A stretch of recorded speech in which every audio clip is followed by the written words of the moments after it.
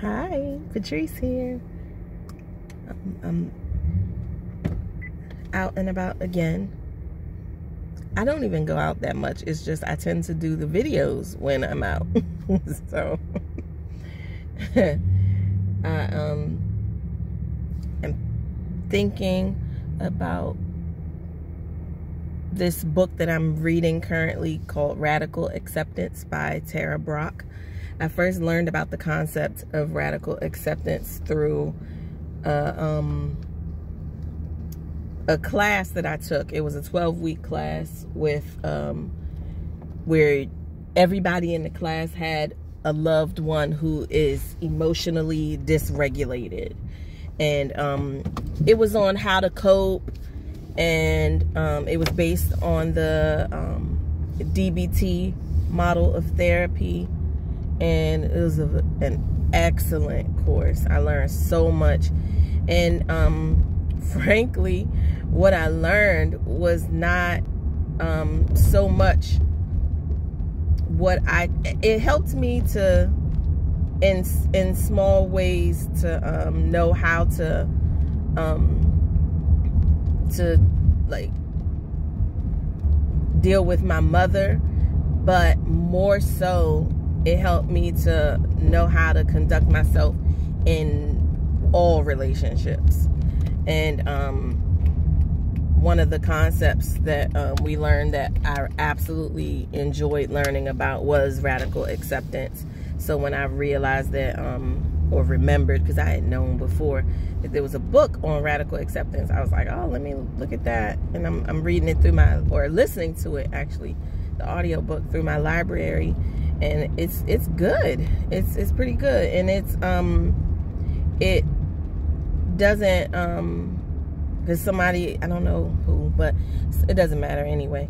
Um, they they talk about or the the author talks a lot about like uh, Buddhism and like Buddha this, Buddha that, and um, that doesn't bother me at all because I know where I'm coming from. I understand um, in a very different way now that everybody's on their own journey and you do what you're gonna do.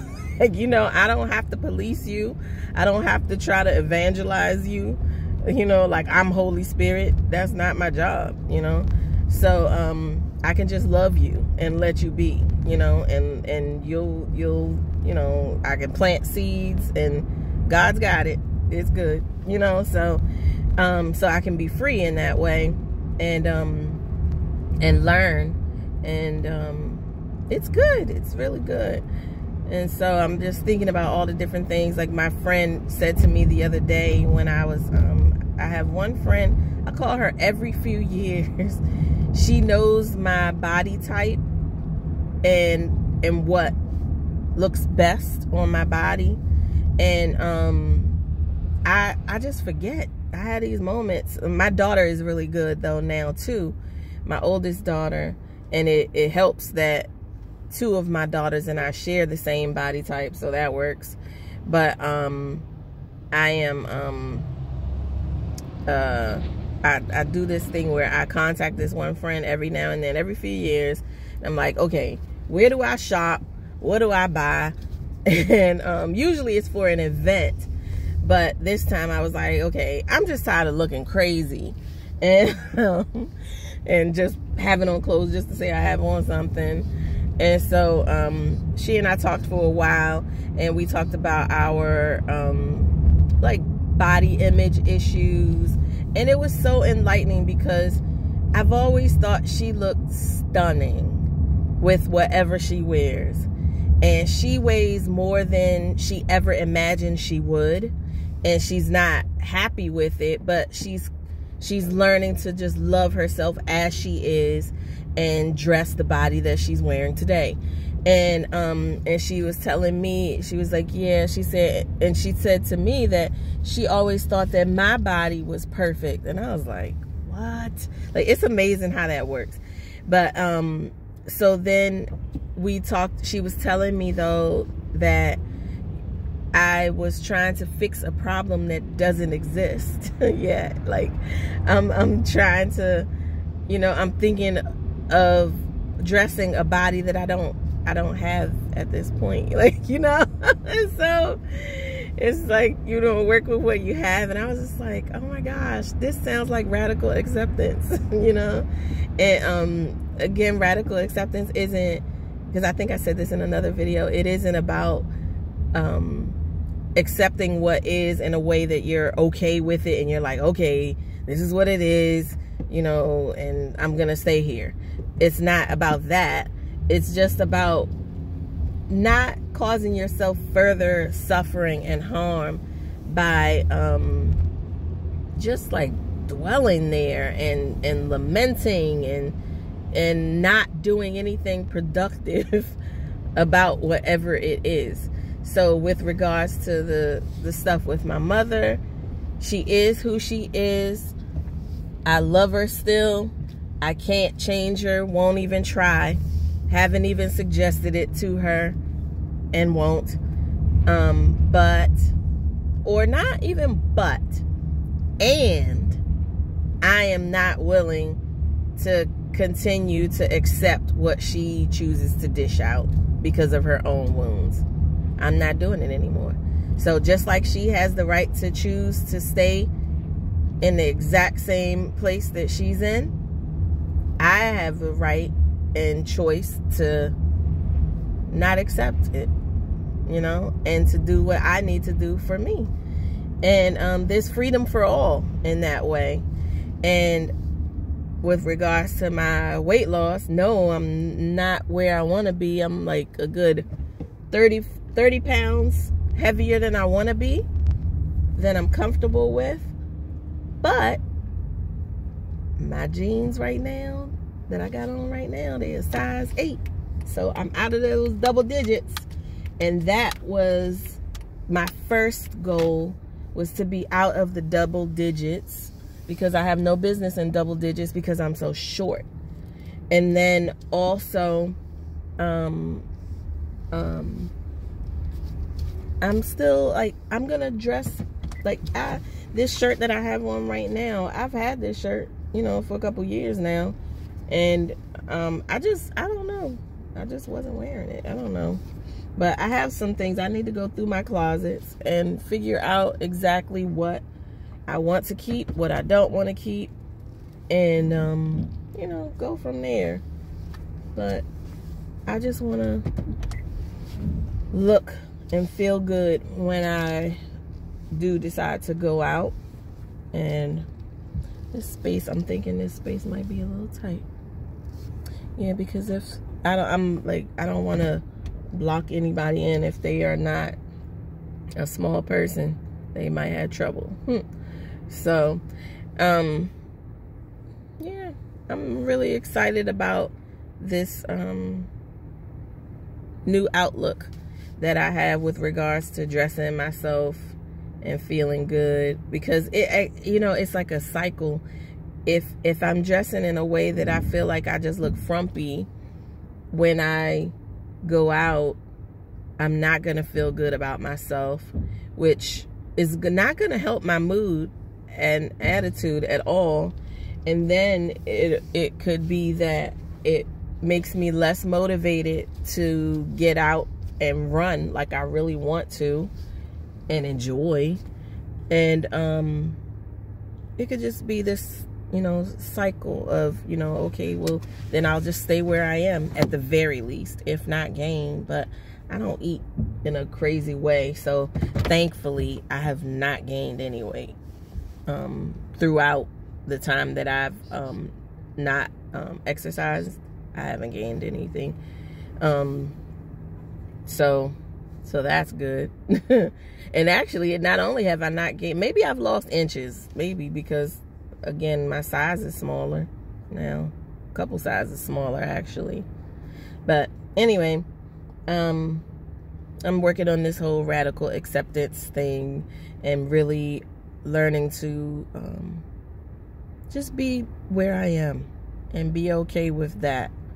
And um, that can enable me to make whatever changes I need to make in the moment so that the future that I would like to see could come, you know?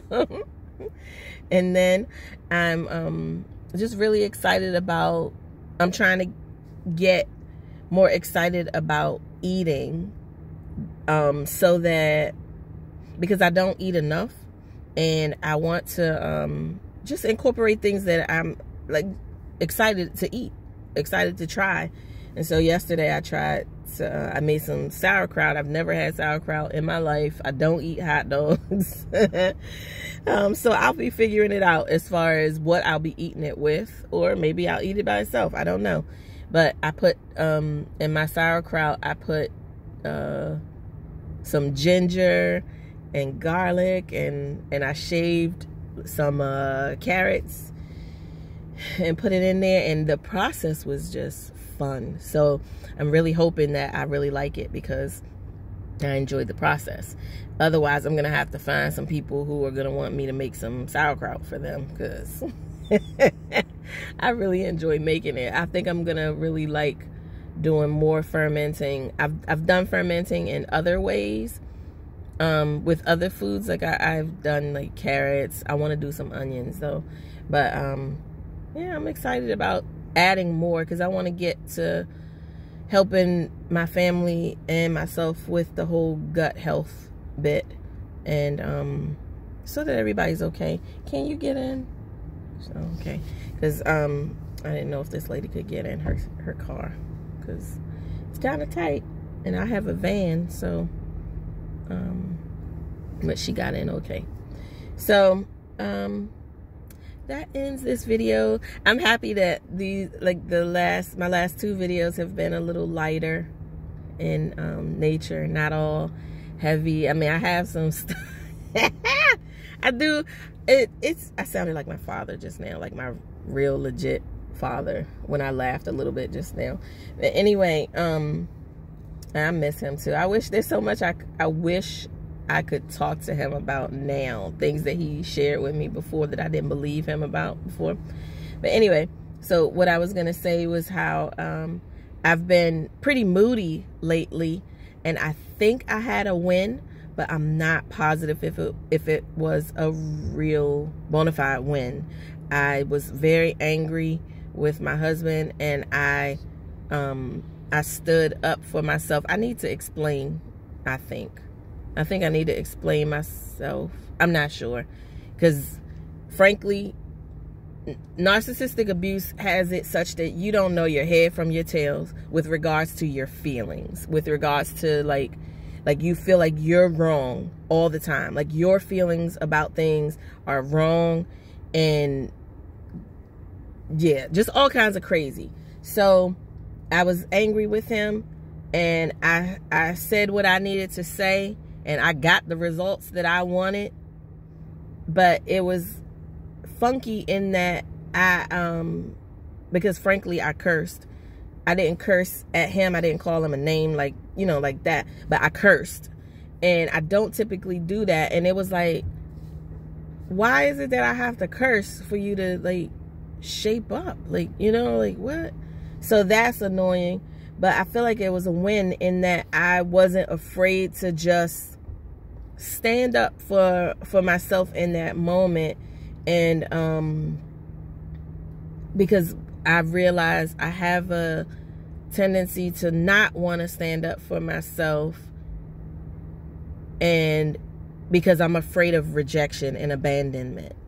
And um I'm afraid that you know a person won't love me anymore and um, because I've been told, you know, these things, like, you know, I've been told, you know, I don't want you, I want to, you know, like, like by my mother. And, you know, when it comes from a parent, that stuff, it's deep, you know, and um, whether you want to face it or, you know, whatever or not, it's still there, it's deep and it's real. So, um, so I think it was a win in that I stood up for myself and I got the results I wanted to get. But I think I need to explain some things further to my husband as far as why I got to the anger. Because um, I'm not sure he understands. And he is not such that, like, the person that will, like, want to get an explanation necessarily. He'll just go move on and, like, everything's okay because, like, we're good now. But, um, yeah. So I'm um, trying to pay attention to my moods and when I feel violated and um, in order to keep my self-respect and um, gain more self-respect, I'm going to speak up for myself. And so that's good. So I will end the video here. And, ooh, I got to tell you too. The other video, I was talking about all the stuff I made. One thing I did not mention that I made was some more rose water. And um, if you haven't guessed, I make everything, okay? So um, I also make uh, um, hair oil for my locks, or for all of our hair, even the girls that have loose natural hair. I um, make a hair oil for us. It's herbal. And um, in my rose water this time, I put a little bit of that herbal hair oil. Oh my goodness. Even my husband is going in the fridge because you got to store the rose water in the fridge. So, um, because it'll go bad. So my, even my husband this morning before he left, he sprayed his hair and his beard with the rose water. and um, rubbed it in. And he's like, can you make it not smell like roses though? And I told him, I said, well, I do have a hair oil too upstairs that's doesn't have the rosy smell to it. And I was like, but the whole point of the rose water is the rose. So, because it's very good, you know, for skin and hair. So, um, so yeah. I'm gonna go back home and make me some rose tea I might even make some rose honey soon. So we'll see.